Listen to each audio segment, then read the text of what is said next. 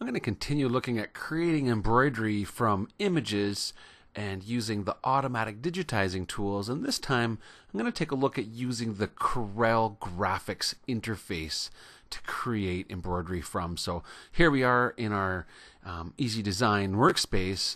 And what I'm going to do is just use this pencil to switch over to graphics mode.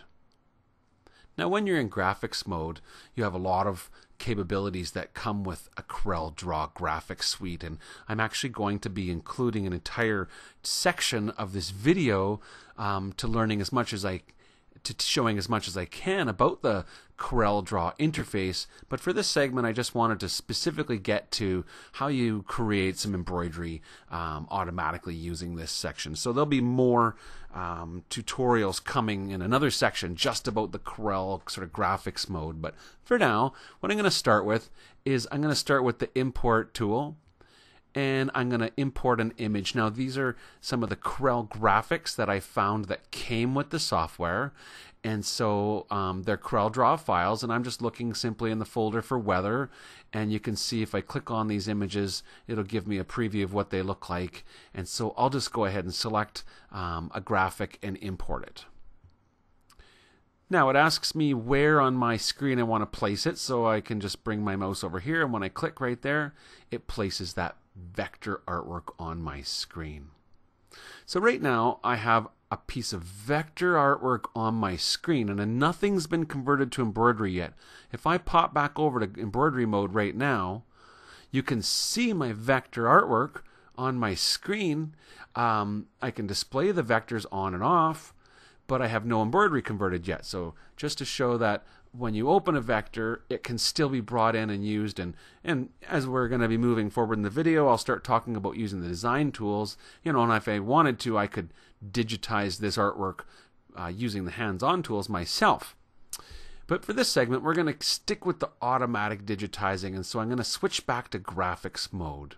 Now, when you're in the graphics mode, um, if I select on this artwork, so if I click on it, it selects the whole graphic. And I can see here on the right hand side, I have what's known as the object manager, and it shows me that I've selected a group of 18 objects. So this embroidery, this image that we see is actually a group of 18 individual objects that were created. That's the vector artwork.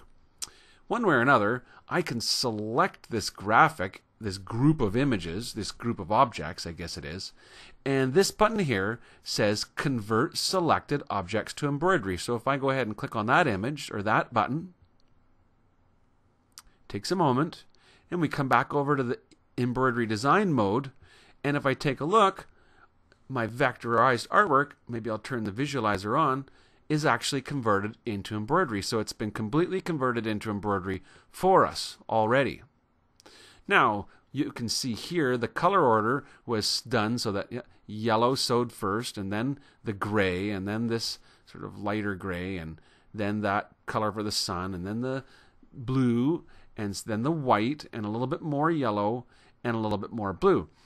And so, if you didn't like that and you thought, well, gee, I might have done the gray first and then put all the yellow on top, then you have to take a little bit more control. And so that was, again, the fully automatic, just convert everything to embroidery. What if I did it sort of in a little bit more, with a little bit more control? So what I'm going to do, I'll start a new design for this. And we'll quickly go over to the graphics mode.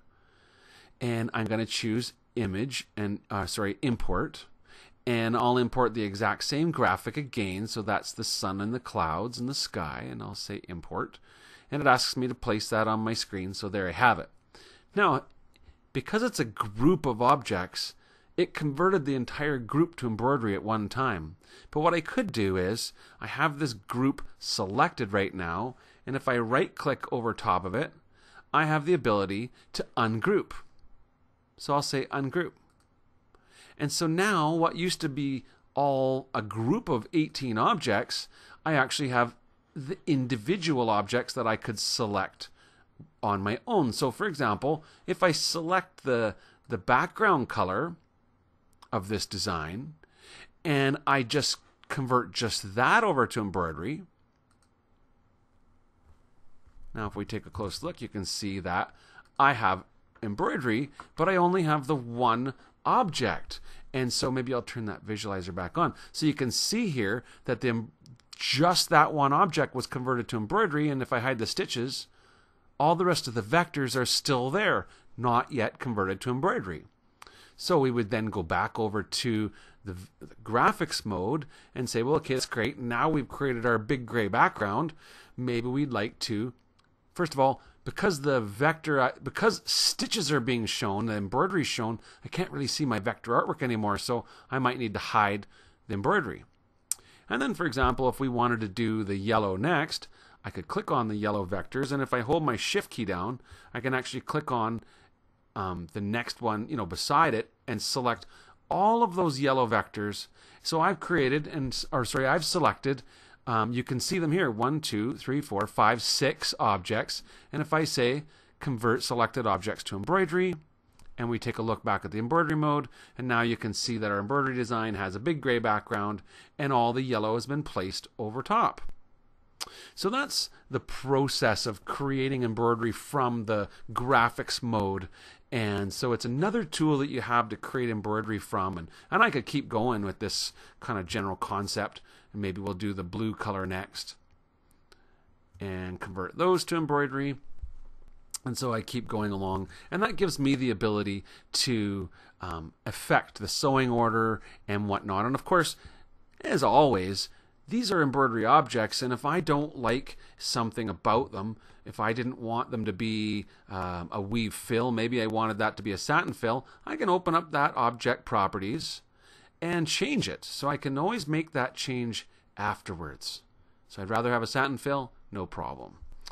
So that's um, a small segment about using the Corel graphics mode.